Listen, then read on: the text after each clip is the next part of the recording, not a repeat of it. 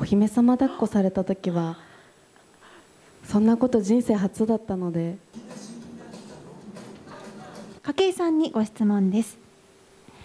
妄想のシーンでよしみが胸キュンするシーンが描かれていましたが全話を通して最も胸がときめいた妄想シーンはありますかというご質問です。わあそうですね。そうだな。妄想シーンは本当に毎回すごいことになっているので ぜひ楽しみにしていてほしいんですがえー、そうだな。なんだろ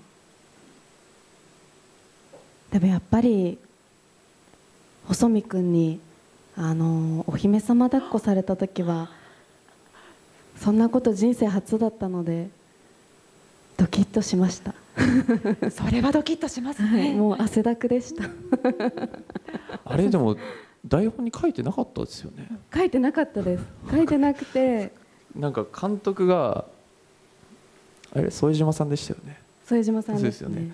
副島監督がなんかどんどんあの回を重ねていくごとにというか撮影が進んでいくごとにあなんかアイデアがすごい出てくるんですよ。ね 本当一番乙女でしたよね。誰よりも乙女で誰よりもキュンキュンしててなんか、うん、結構変わってますよね。最終的に、ね、なんかあのー、2話のハンバーガーの回とかでも指ペロみたいなあの新たな技を副島さんが生み出してるのでそれもぜひ 指ペロ。です。いや本当に楽しみなんですよそういうの。僕台本はもちろん分かってるんで。なんかあれ？こんなとこあったっけ？とか思いながら、ね、見るのすごく楽しみですね。指ペロは井上さんがされるんですいや違います。違いますね。あのー、今の鈴木さんという、はい、イケメンがまた出てきますので。皆さん楽しみにしていてください